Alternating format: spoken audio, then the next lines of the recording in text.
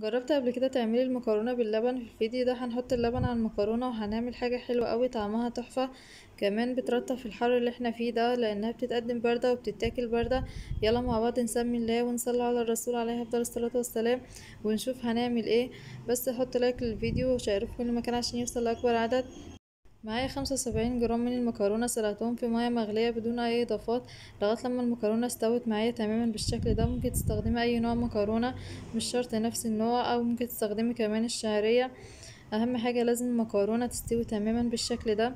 وبعد كده سبتها تبرد الأول تماما. وبعدين هجيب الخلاط وهنزل فيه بنص كيلو من اللبن الحليب الساقع وهنزل عليه بالمكرونة بعد ما بردت تماما. وبعد كده هضربهم مع بعض كويس جدا لغاية لما المكرونة تدوب تماما في اللبن. يعني ما يكونش ليها أي أثر في اللبن وما تكونش فيها أي تكتلات بالشكل ده زي ما شايفين معايا. وبعدين بجيب حلة وبنزل فيها بنص كيلو من اللبن حليب كده استخدمنا كيلو من اللبن وهنزل عليهم باربع معالق كبار من نشا الذرة. وهحط لهم كمان معلقتين كبار من الكريمه اللباني البودر بتخلي طعمها حلو قوي. لو مش متوفر ممكن تستخدمي الكريم شانتيه الخام أو ممكن تستخدمي كريمه الخفق لو مش متوفرين ممكن تستغنى عنهم تماما وتزودي معلقتين من النشا. ونزلت كمان عليهم بنص كوباية من السكر والسكر حسب الرغبة ممكن تزودي أو ممكن تقللي. هدوبهم الأول مع بعض على البارد لغاية لما اللبن لغاية لما النشا يدوب تماما. وبعدين هرفعهم على النار مع التقليب المستمر لو وقفتي إيدك النشا هيكلكع معاك ومش هيفك بعد كده فلازم تقلبي باستمرار لغاية لما الكريمة تبدأ تتقل معاك بالشكل ده. بعد كده هنزل عليهم بخليط المكرونة مع اللبن مع التقليب المستمر برضو. ومجرد ما بتنزلي بخليط المكرونة بتلاقي الخليط تقل معاك بالشكل ده بتبدأي تنزلي عليه بمعلقتين كبار من الزبدة أو ممكن تستخدمي السمنة البلدي كمان بتدي طعم حلو قوي لو مش متوفر عندك زبدة. بتقلبي بقى الزبدة كويس جدا مع الخليط لغاية لما تدوب تماما. فايدة الزبدة بتخلي قوام الخليط كريمي جدا وبتديله كمان طعم حلو قوي وكده يكون الخليط خلص معايا بعد أول ما يبدأ يعمل فقاعات معاك كده يبقى كده استوى تماما. ببدا أنزل عليه بكيس من الفانيليا وبرفعه من على النار.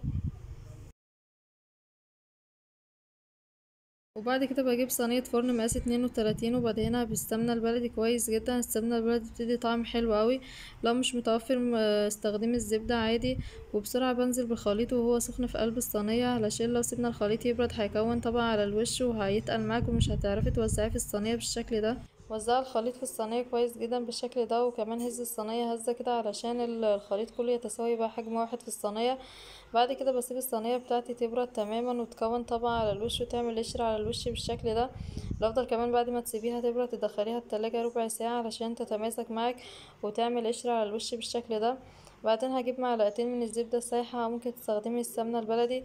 وهبدأ أدهن وش الصينية بتاعتي بالشكل ده علشان الزبدة دي أو السمنة هي اللي هتعمل لنا وش للصينية وهتخلي الصينية بتاعتنا تاخد لون حلو قوي. كمان هتعمل لنا طبقة حلوة قوي على الوش زي بتاعة المحلات بالظبط.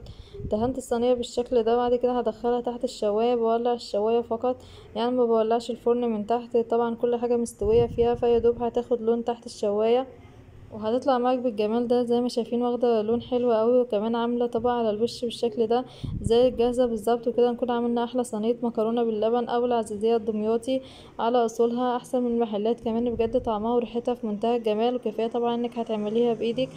طبعا بتسيبيها تبرد الأول تماما علشان لما تيجي تقطعيها تطلع معاك قطع وبتطلع معاك الخرطة متماسكة بالشكل ده وفي نفس الوقت كريمي بجد طعمها وريحتها في منتهى الجمال زي الجاهزة بالظبط وأحلى كمان زي ما شايفين شكلها تحفة واخدة وش حلو قوي وكريمي جدا وحاجة بجد ترطب في الحر اللي إحنا فيه ده تدخليها التلاجة كده تسقع وبعد كده تاكلي منها بجد طعمها وريحتها في منتهى الجمال هتعجبكم جدا.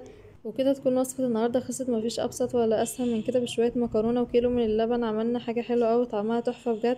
لو الفيديو عجبكم حطوا like للفيديو واعملوا share للفيديو عشان يوصل لأكبر عدد. لو أول مرة بتشوفوا قناتي اشتركوا في القناة وفعلوا زر الجرس عشان يوصل لكم إشعار بكل الفيديوهات الجديدة. هسيب لكم المقادير كلها في صندوق الوصف دوسوا على عنوان الفيديو هيظهر لك صندوق الوصف دمتم بخير.